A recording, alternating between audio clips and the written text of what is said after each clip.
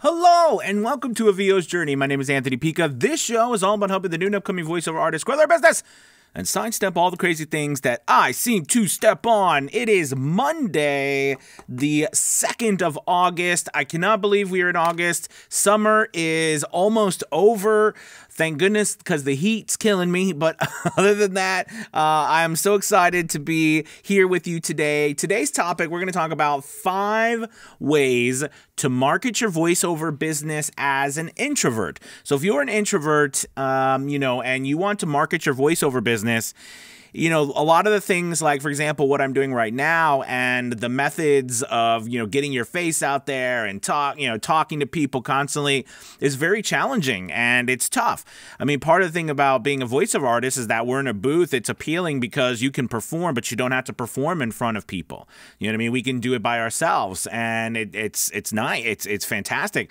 So if you're an introvert, you can find it very challenging uh, in order, you know, to, to get out in front of people and talk to people people in order to get business. So I have five different uh, ways that I think you can uh, market your business, your voiceover business, as an introvert. Okay.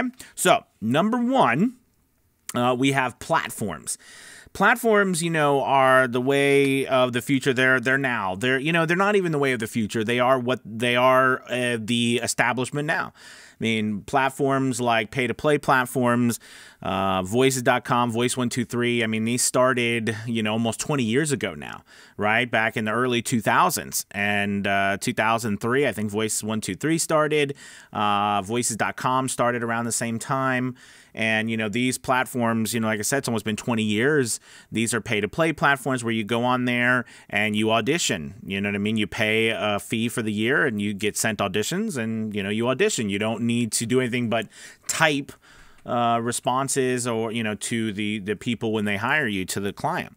Um, other platforms like Upwork and Fiverr and um, places like uh, People Per Hour or Voquent, you know, all these places that you can um, get on that you don't have to talk to people. I mean, you might have to type to some people, so there is some typing involved. But you know, I, have never found an issue typing. I think it's more you know challenging when you have to get in front of people and talk.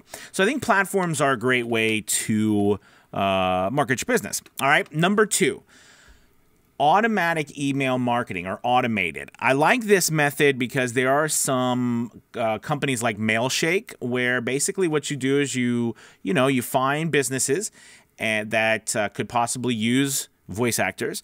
You put them into the system, and basically, Mailshake will send out emails to these places, and it will show you if they've opened the email.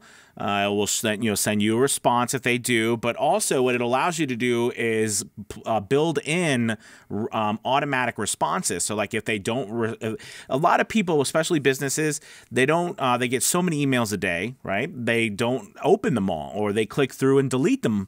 You know, so it's the second, third, fourth follow up email that usually gets work. Now again, depending on what country you're in, follow the laws of your country. There are some countries where you can't do that, you know, et cetera, et cetera. But but pretty much in the U.S., you can do that, uh, but you have to give them the right to unsubscribe. And mail, companies like Mailshake and stuff do all of that. And I think in the U.K. though, they have to, you know, you, you can't solicit in that manner. So whatever country you're in, make sure you're using the the you're paying attention to the laws. But generally, the automatic approach is really nice because you know it does it for you, and you can kind of plug and play and build your list automatically instead of you having to do it and then you having to be that face, uh, you know, communicating with people constantly. All right. The third thing is agents. Now, you know, agents uh, are, and I'm talking about, uh, I call them offline. So I call online agents and offline agents. So basically, online agents are like websites. Okay. And the offline agents are, you know, real people. Not that the online agents like websites aren't real people running it, but you get what I mean, right? Uh, person running an agency, etc. So these people are your representatives. They represent you. They make sure, you know, that you can get auditions. They make sure they protect you, et cetera, et cetera. They do all these things for you, and they're the face for you.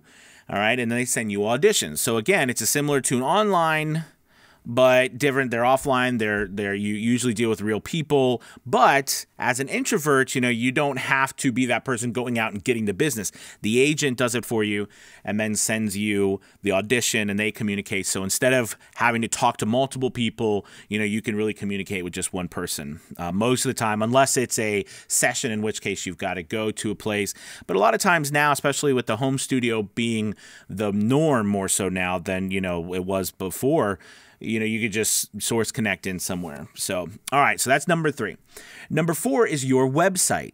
Now, I want to make this clear. It's very difficult to put up a website these days uh, and actually rank above other people on Google to get organic traffic but you know having a website is you know allows you to send people to your website allows people to see you know to check and see if you're legitimate to listen to your stuff to be able to com- uh, communicate and contact you through your website.